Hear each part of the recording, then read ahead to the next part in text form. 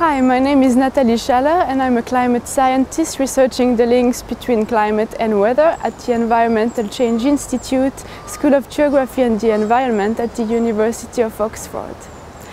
At the Radcliffe Observatory, Oxford researchers have been taking daily measurements of precipitation and temperature uh, since 1767 which is the longest such record in the world and we have just recorded our wettest winter ever.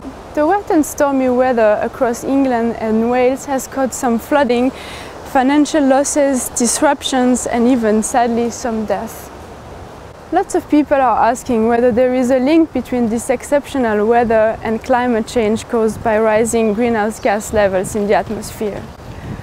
Answering this question is hard because, as we can see from the record, we have had plenty of wet winters before.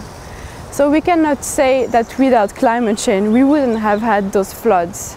However, the question that we can ask is whether climate change made those winters or those wet winters more likely.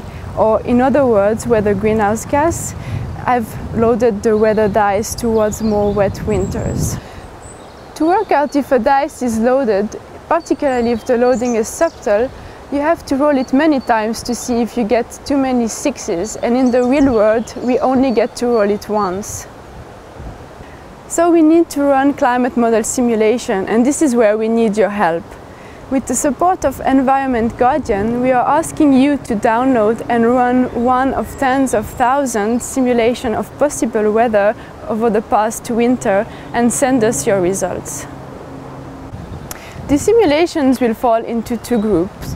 One group will simulate the actual conditions driving the weather over the past winter and the other group will simulate the world that might have been without climate change.